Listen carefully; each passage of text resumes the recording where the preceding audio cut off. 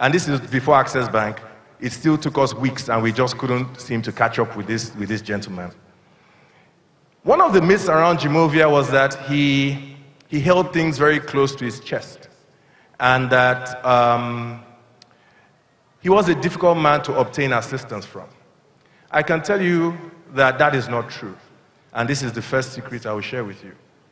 Very shortly after we did the Access Bank thing, Access Bank at that point in time uh, was certainly uh, a very, very little ant compared to the giant that already Zenith Bank was.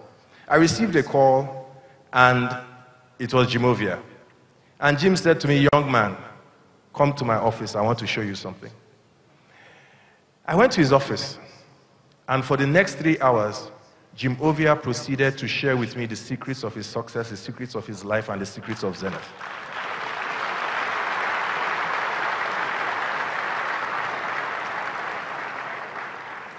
And to be honest, that day, as he showed me thing after thing after thing after thing, from technology to people to succession planning and everything, I said, Aigboje, you've got to revise your plans oh, for Access Bank. And I looked at this man as he was sharing these secrets and I said, it's either of two things. He tells me that he wants me to be great like him. It's either he truly believes it or he truly underestimates me. I wasn't sure. But then I'll tell you something.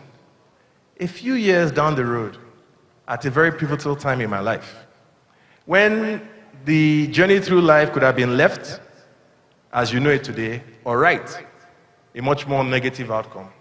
Jim Ovia again called me and did the most unexpected, most unanticipated thing and gave me a lifetime break. Thank you, Uncle Jim.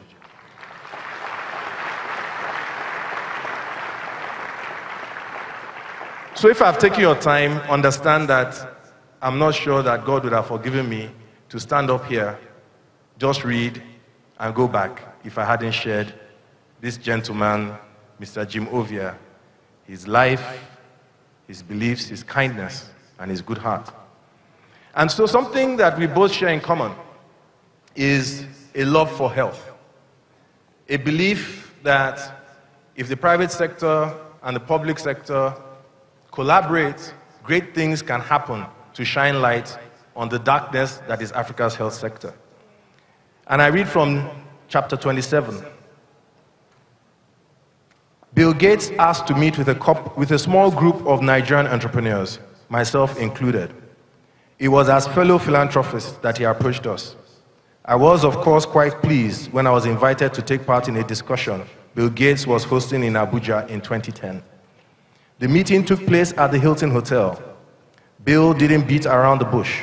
He'd asked us to the meeting. He said, because he hoped we would agree to create and set up a philanthropic organization that would serve as a private health alliance focused on Nigerian healthcare and health issues. He also spoke very movingly about his vision of eradicating polio and other serious but preventable health conditions in Nigeria. He believed that in Nigeria, this vision could be best served by Nigerians, men or women who are local to this culture and also visible and trusted both in Nigeria and abroad. People like us. If we were amenable to doing that, Bill told us, he would commit to helping support our group personally and financially, tripling our collective donations. Few would be surprised to learn that we agreed. We would not have a public face or the name Private Sector Health Care Alliance of Nigeria for several more years. Nonetheless, we were now part of a private sector healthcare alliance, our founding members including Aliko Dangote, Dr. Mohammed Ali Pate, Aigboje Aig-Imoukhuede, Shola David-Borha, and myself. And as I depart from this stage, um, Jim, I know you love your children so much. My prayer is that in the way that you have touched lives and you continue to touch lives of men and women, they will find at every turn a man or woman who will touch them as you have touched me. God bless you.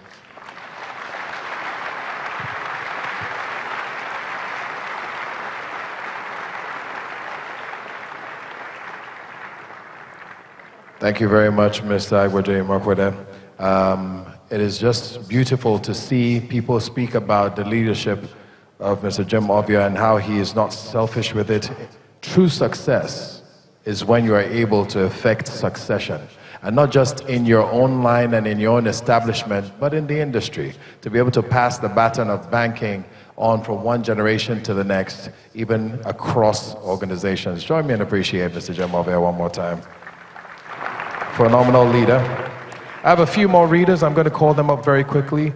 Um, this gentleman, also one of the big names in media, having founded uh, the very popular This Day magazine, a newspaper, and also the Africa style and culture based magazine called Arise. Ladies and gentlemen, please join me and welcome Mr. Nduka Obaigbena as he comes to speak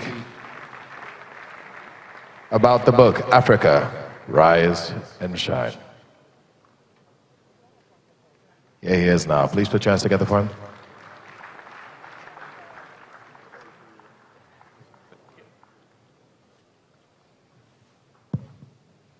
The Vice President of the Federal Republic of Nigeria,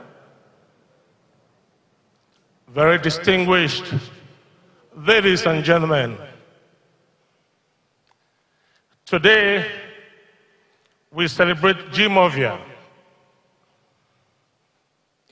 I will continue to applaud him. But let us also take our time to celebrate Nigeria. Nigeria made it possible for us all to thrive. Our democracy is in its 19th year and growing imperfect as it is, it's coming gradually of age. With our democracy, we must create opportunity. Only in Nigeria can a company come with, is it $402 million and make 8 billion in a few years. It's certainly the land of opportunity. But we must also build a Nigeria of the rule of law, of freedom, and free choice and democracy. And if we do that, our democracy will thrive and our business and our institutions will keep thriving. Jim Ovia is a strategist. I believe of all the speakers here, I have known him most of my life. He comes from the minority of the minority. And he's made good. And as he said, he is world class. Let me share his words with you.